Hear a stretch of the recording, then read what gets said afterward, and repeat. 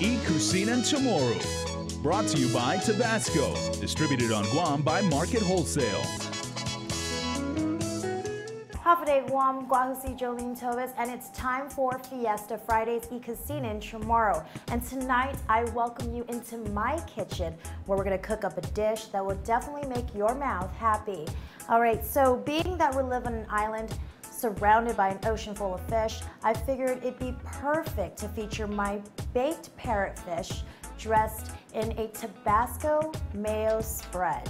Now, to get started, what you're going to need is salt and pepper, some ginger, garlic, onions, green onions, tomatoes, mayonnaise, your parrotfish, and of course, Tabasco. We can't forget this. Now, let's get cooking. Before you get started on the marinade, we're gonna preheat our oven to 350 degrees. So while that's getting heated, we're gonna mix together our dressing. Okay, so first you're going to put some, three, two, one. So first you're gonna put some mayonnaise in a bowl. Now depending on the fish, the size of your fish and how many fish you're gonna cook, the quantities will vary. But you take some of your ginger and you just scoop it on in to the mayonnaise. Then you take, you add your garlic, and you want to be generous with everything because this is going to pack, pack a world of flavor that's just going to tantalize your taste buds. Then we're going to add our onions, green onions, and our cherry tomatoes. So once that's all added in, then we're going to mix our dressing so that everything is evenly, evenly distributed. We're gonna add in a world of flavor with our Tabasco.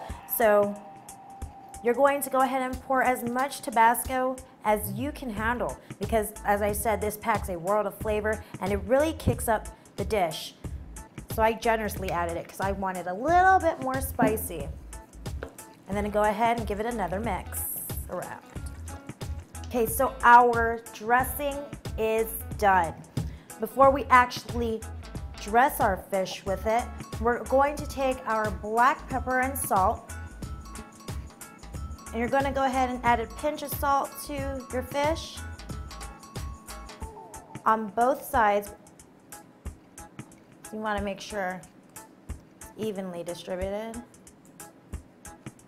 You even wanna get some of that salt inside. All right, so I've laid out some tin foil on a baking pan and I folded it like so to make sure that when I wrap my fish, it's secured and all the juices and the heat is trapped inside, which helps it in cooking the fish. Before we actually get the fish on the foil, you're gonna wanna take a few scoops of your mayo and spread it out on the bottom of the foil. Okay, now we're gonna take our fish, we're gonna place it on top. And get a shot of that.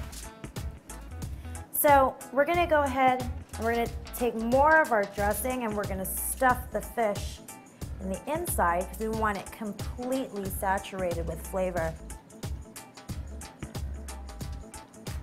Add a little bit more Tabasco for flavor.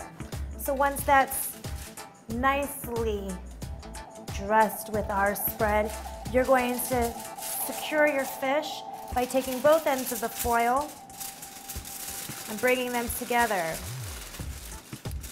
And you're gonna fold it like so.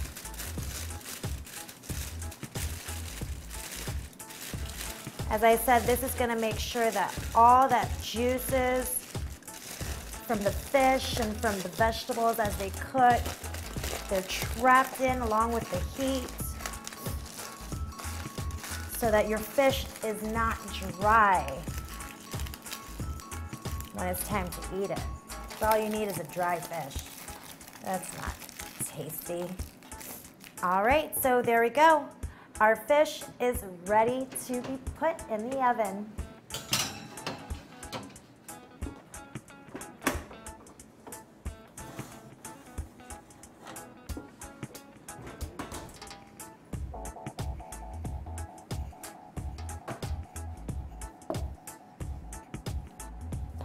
So let's see how our fish turned out.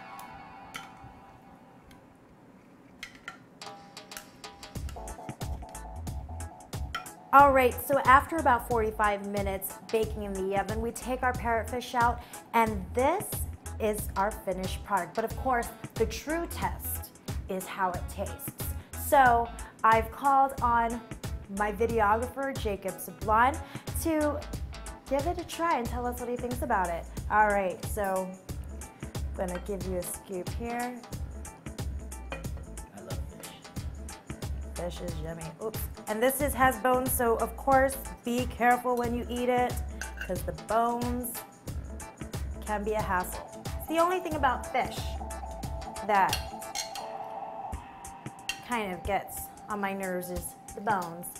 Go ahead, give it a taste. This is for you. I'll take this one. Oh, you'll take that one. You're gonna eat the whole fish to yourself. Yeah? I'll eat the whole fish to myself. Look at me, I'm a pretty hefty guy.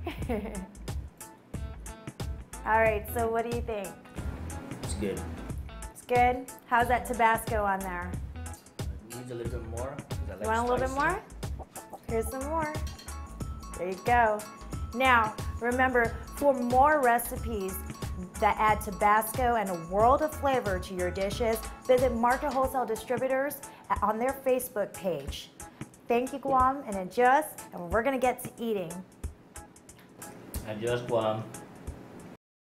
want I Kusina Chamoru. Brought to you by Tabasco. Distributed on Guam by Market Wholesale.